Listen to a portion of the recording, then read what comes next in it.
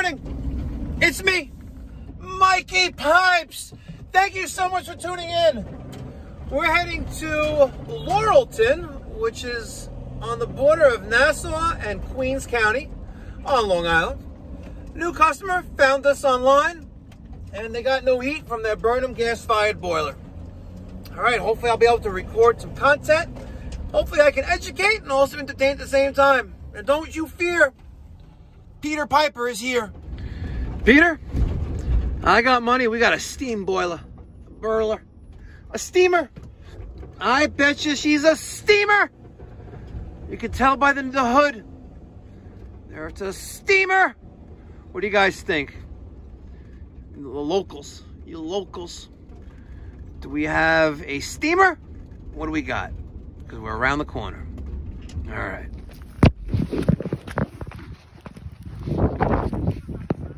Which way? Sure, absolutely.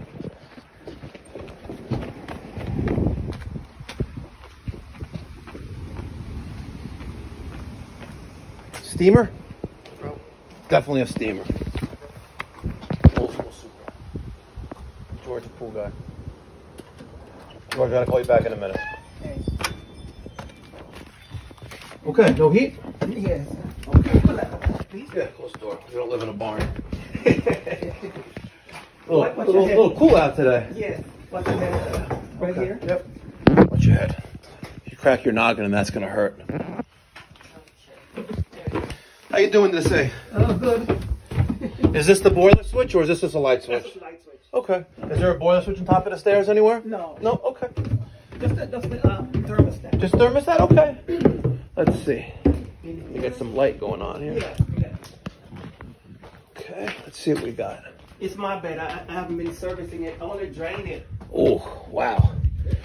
I know I'm here for the boiler, but you got an antique right here. Oh, yeah. Wow. Yeah. Kenmore.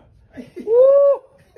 Wow. You know what? Let's not even look at it. Yeah. It's going to be bad luck. Let's not even look at it. Yeah, yeah, yeah, All right. So you got to Burnham, steam boiler. yeah. Uh, did you have it installed? Yeah. How long have you lived here? Uh, since 85. Okay. But, but we just got this um like about 2010 or so. Okay. So it's 12 years old. About. Yeah. Any recent service, maintenance, things like that? No. Okay. And right now it's not heating, right? Yeah. Is the thermostat on or off right now? I think it's off. Okay. You want to turn it on for me? Yeah. You also have a thermostat in the basement too, huh? I did. You did. Yeah. Past tense. Pl- Yeah. It's, it was right here. And what happened to it? Uh, well, I took it out because it was um the, the return Yes. was keep going on. Ah. Yeah. Okay. All right. Let's turn the thermostat on. Let's see what happens. Yeah. All right, Peter. Let's refresh your memory. All right. I'm wise. Not a trick question, right? Do you remember what that's called? Yes. Remember what that's called? It's the auto feed. Yes. How about this doodad right here? Uh, pressure tool? Yes. Uh, the thing with looks like a glass tube. What is that called? Sight glass. Okay. The the thing with the dial on it. Pressure gauge. The thing with the green light on it right now. Low water cutoff. Uh, this green thing Relay.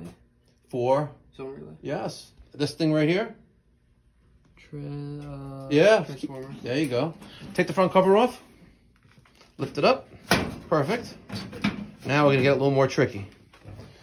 What is this thing called right there? That is um. Uh,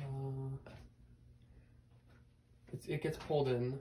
Once, Yeah, kind of. once, Once, once it gets a signal. From the thermostat. so thermostat. Uh, relay. Yay! Wow. What is that called?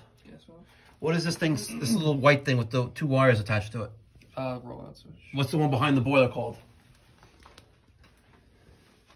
Attached to the bottom of the draft diverter. Um, If that's a rollout, that's a vent switch. spill switch. Block vent damper switch. Perfect. All right, so he turned the thermostat on. We heard the thermostat relay clicked in, click in, right? Okay. When the thermostat relay clicks in, what happens next?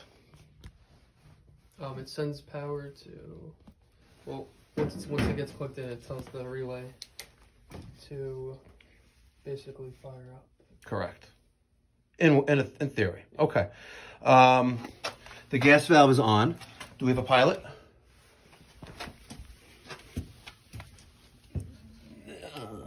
No? No, I don't see a pilot. So, and we have some dirt and debris in there. Okay. Overall, not too bad. So, we need a tool bag. We need a, a means of, of flame, which I, I think we have one still in the tool bag, right? Lighter. Right, we have that, that longy, skinny, skinny little lighter, right? And uh, grab the testo. We're going to try to relight the pilot first. Flat Phillips screwdriver. And get some more light here. There's a Phillips screw that holds in, it's a shipping screw. It holds in this front plate of the combustion chamber. I'm going to take this out of the way. Okay. I'm going to turn the power switch off, which is up here. Okay. If you notice, the relay turned off. That click that we heard was the relay de-energizing, but I also heard, I think I heard something from the gas valve. So we turned the power off because we're taking out this lever here, and this contains, what was this again? For all that. So Roll-out switch. And if this touches metal, we could possibly short out the transformer. Now, you see there's no pilot flame in there, right? We're going to turn the gas valve. Right now it's on. We're going to put it to pilot. And all these directions are outlined right there.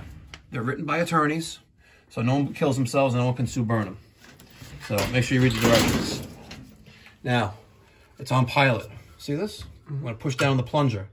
When we push down the plunger, we're going to have gas leaving, manually leaving the pilot tubing up here. Leaves the pilot tubing here, and it goes to the pilot burner. Now, we're going to take a light, and we're going to light that. See? You see that small little blue flame? Yep. We're going to hold down the, the red plunger. Is it red? Yes. Sometimes it could be black. We're to hold that down for 60 seconds. When we let it go, if it doesn't stay on, 95% of the time, it's this thermocouple. 5% of the time, it's the gas valve. So hold this down for 60 seconds and then let go and see what happens. Now, since I know this boiler is from 2007, right? This thermocouple looks like the original one from the boiler. I got my money on a defective thermocouple. When I let this go right now, it's not going to stay on. We ready? Mm-hmm. Three, two, one. And it's out. So now we're going to change thermocouple. Very easy to do. Let's get that that uh, flare socket that we have, that flare uh, wrench. It's in the uh, tool bag right at the side. Right there. Boom, right there. Right next to the gallo gun. Right next to the gallo gun. See the gallo gun? Right next to the gallo gun. The little. Oh, oh. Right there. This? Yep, grab that. Okay. Now, the way I'm going to do this, I'm going to take a couple burners out. I'm going to take them out, just tap them, see if any dirt. We'll take these two out, and I'll keep going since I'm a nice guy.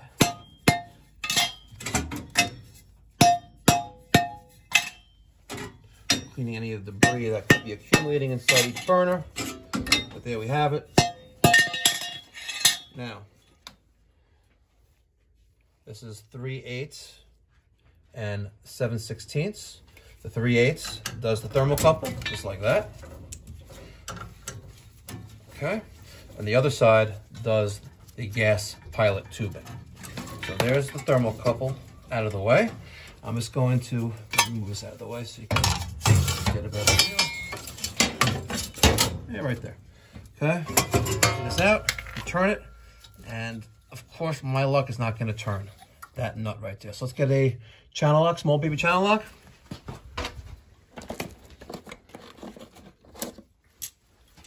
Smallest one, yeah. Okay. And I am going to try to loosen this up.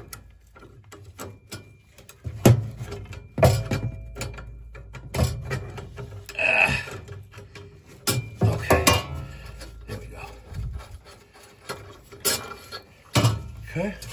Let's take a look at the tip. She looks a little preggers there on the top, don't she? A little bloated. I'd say maybe four or five months pregnant. All right, we need to get a new thermocouple. All right. 36 inch Honeywell thermocouple. Okay. Now, what I could also do, which I haven't done, is I can actually test the millivolts from the thermocouple. And I got videos on that, but I know it's original. I know it's not going to work. And if it doesn't, if this is not the problem, if I'm changing the gas valve, we're changing the thermocouple at the same time anyway. Right? So it's kind of a moot point. So this is how I like to do it. We have this little piece that goes right there, that sits there. This, I know we just chuck off to the side. We don't need that. So now, take a peek. Where is that? Not okay, there that is. Get in there like this. So it goes in there like this. We tighten this up. Come on, get in there. Go, baby, go, go, go, go, go. Of course, it's gonna make me look like make me look like a fool right now. I got it. Yes. Okay. So there you go. There's the tip of the thermocouple exposed in the pilot hood. Right. Now we're gonna take this. This is where it gets a little tricky because these little these edges only fit in a certain way in the back. So take a look in the back there. Right. We're gonna dial that in. Right. One, two, three. Third one. Right. Get in there, baby. Right there. See? It goes locks into place just like that. Okay. Let's move this out of the way. Again, it's annoying. Okay. Now, I'm going to take our thermocouple tubing, right? Bring it up right to there. And I'm not unwinding it all, right? There's no need to. Stick that right there. Wiggle it in until it goes in by hand. I'm gonna take the 3 8 side of that flare wrench and we're gonna tighten this up. Right like that, okay? And that's snug. That looks nice, right? Still original coil. Now, we're gonna light the pilot. Hold down the red plunger again. Take our lighter. We're gonna hold this down for 60 seconds.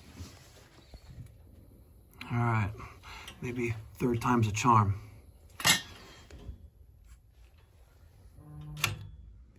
Wow, valve shot. Want to hold back?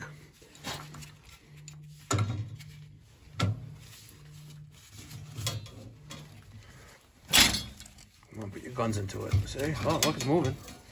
It's moving. Arrgh. Did you have your wheeze this morning, Peter? No, I didn't this one. No? Candy from... No, I didn't anything. You're letting that those channel locks get the best of you, aren't you? I usually do that, yeah.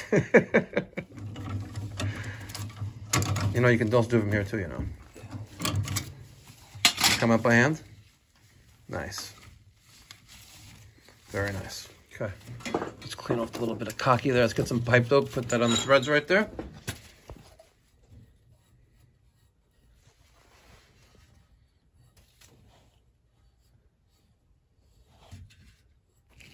Okay.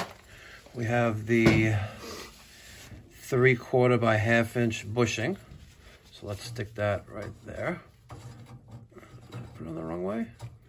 No, other way. Come on. Get on there. There you go. Let's get some pipe dope on the threads of the reducing bushing.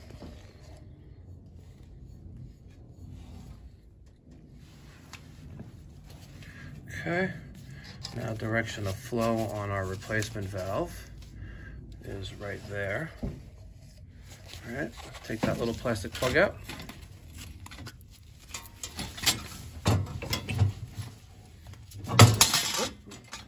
Let's get that on there.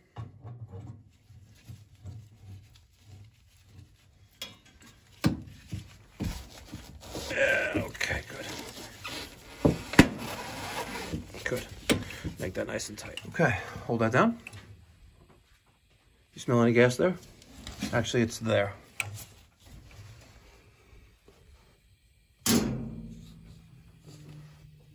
Yeah, no, I smell gas. Okay, good. Now, let's take that, uh, the pilot tubing, Right, you're gonna put it into that hole right there. Let's take this out. Okay.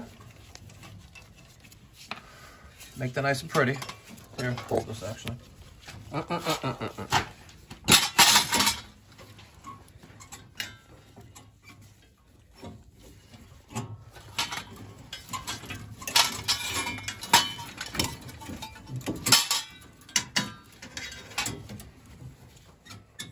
Where are we? We are right there. Right?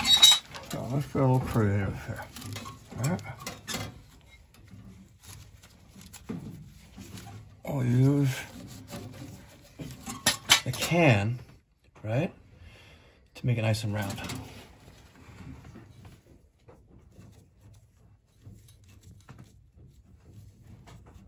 Or, oh yeah. There you go. Okay. Okay. Nice and round. I got a big ass thing right now. Okay. Now.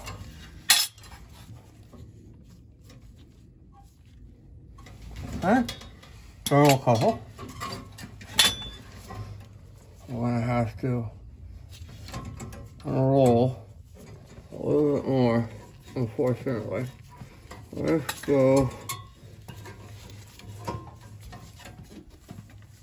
Okay.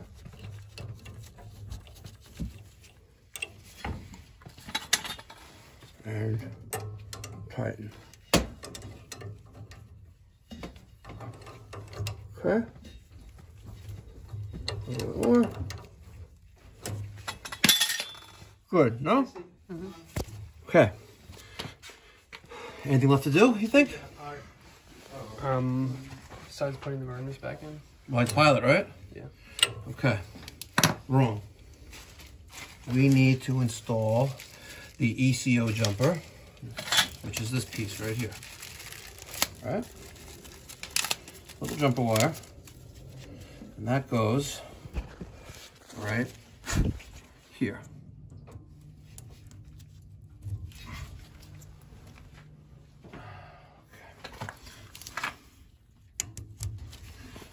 Just like light it. Holding down the plunger.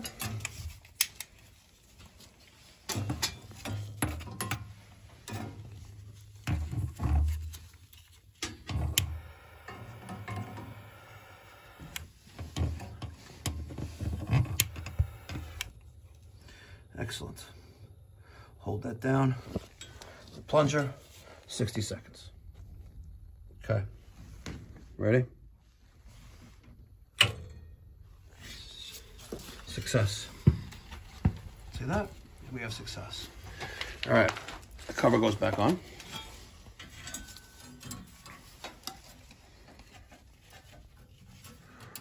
All right, power's back on. Wires are on TH and TR. Low water cutoff, just did a self check. Vent damper is still closed. Thermostat is on? Let me go. Someone turn it off? No, did someone turn it off?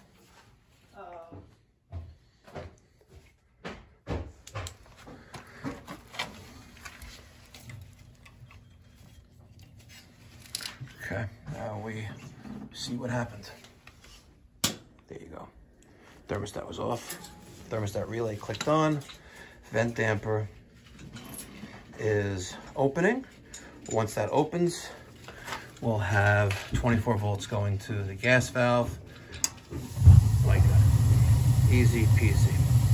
Next, we got to check gas pressure and combustion analysis. How we looking? Okay, let that stack temperature get hotter and make sure we're still good. O2 is good, carbon monoxide is good, gross efficiency needs to come down to 80, 82%. All right, now clipboard that and then test draft. Our O2 and CO is not going to change. We are good with draft too. Clipboard that and then we'll print the results. Peter! Any feedback? Um, it's pretty straightforward. Job. I'm quite impressed. You correctly identified all of the parts, all the components of that steam boiler when we first arrived. Where I'm confused is last week, on Friday, you didn't recall the two main electrical components of that condensing unit outside, which Yeah. were the condensing fan motor and the compressor, besides the dual capacitor and the contactor. How, did you forget that? I I know those are the two main components. It's Just- just, the way it was worded. Just The way it was worded? messed with me. Okay. Because when I think like electrical components, I think like Like a light switch. like? I I know Light bulbs? I know it means something that uses I'm gonna put a little light bulb above his head right now. Yeah, like a light bulb. I guess. I don't know. So, I think you did one with Daniel last week. Where was it Friday? The gas valve. Yeah. He tried to the the pilot wouldn't stay lit. This is the the, the Chinese people in, in Mineola, where you Daniel and you went there. The pilot wouldn't stay lit. The boiler was taken apart when you got there, right? But the pilot wouldn't stay lit. Replace the thermocouple. And then the gas valve wouldn't stay. The gas, the pilot valve on the gas valve wouldn't stay open. So you also have to replace the gas valve. Same thing right here. Look at that. And if you're changing a gas valve, make sure you test the gas pressure and do a combustion analysis. It's very, very important, okay? And I have plenty of videos on all this stuff. Just because I didn't show on this one doesn't mean I didn't do it, all right? So make sure you smash that thumbs up button. We're to have a great, great winter here and also a great winter air conditioning season in Charleston. Stay tuned.